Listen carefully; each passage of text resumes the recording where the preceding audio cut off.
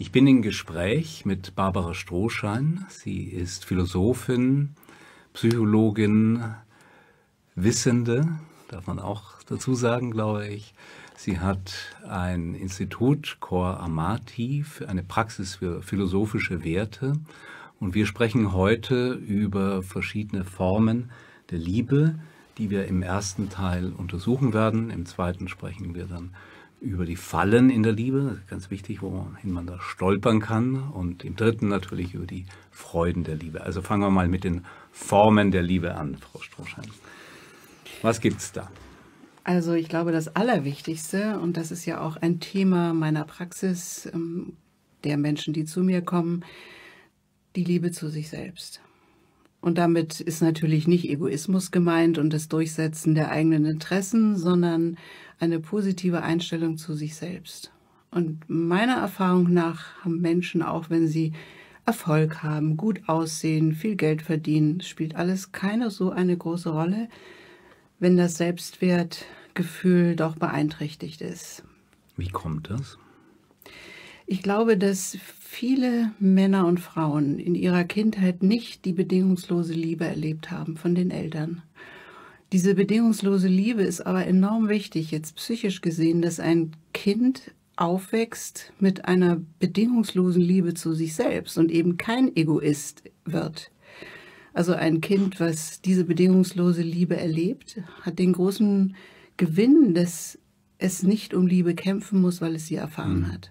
Kann diese Liebe denn überhaupt in der heutigen Zeit noch vermittelt werden, da die Mütter ja die Kinder nur noch ganz kurz haben und sofort wieder arbeiten gehen oder das Kind abgeben irgendwo, damit es ja nicht stört und man Geld verdienen kann, was viel wichtiger ist offenbar? Das ist natürlich eine Frage in einer Zeit, in der es darauf ankommt, sich im Beruf durchzusetzen mhm. und Geld zu verdienen.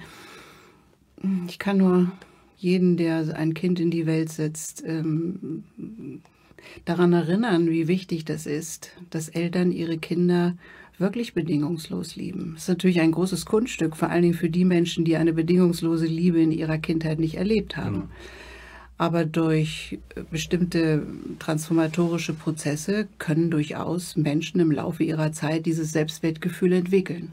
Würde aber auch bedeuten, dass die Eltern permanent für sie da sind. Nicht unbedingt.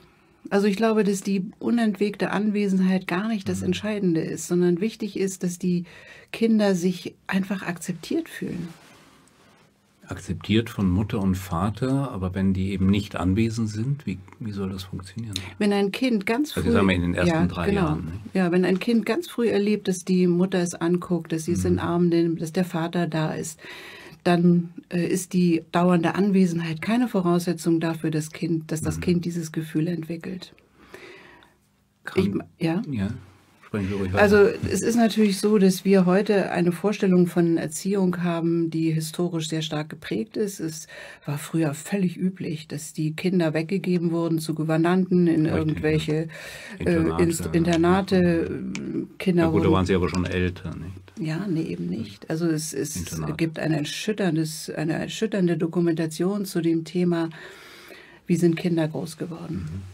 Mit dem Titel Hört ihr die Kinder weinen. Und das ist eine historisch, psychohistorische Aufarbeitung der Tatsache, wie Kinder groß geworden sind. Und das Fazit des Herausgebers ist, ähm, wir können uns eigentlich wundern, dass die Menschheit noch existiert. Weil Kindern eben sehr oft nicht das Schicksal zuteil wurde, geliebt zu werden, beschützt zu werden, so wie das Ende des 19., Anfang des 20. Jahrhunderts dann plötzlich zu einem großen Aufruf mhm. wurde, nicht? Kümmert euch um eure Kinder, liebt eure Kinder, versteht, durch welche Krisen sie gehen, erinnert euch an eure eigene Kindheit. Also heißt es übersetzt, die eine gesunde Selbstliebe nicht zu verwechseln mit Egoismus oder Self-Optimizing, was ja ein ganz modern ist, ja, funktioniert oder kann nur dann eintreten, wenn ich tatsächlich von den Eltern akzeptiert bin, gewollt bin, mhm. geliebt werde. Mhm. Wenn ich es nicht bin, kann es sein, dass diese so in aller Munde seiende Bewegung des Selbst, der Selbstoptimierung eigentlich darauf zurückzuführen ist?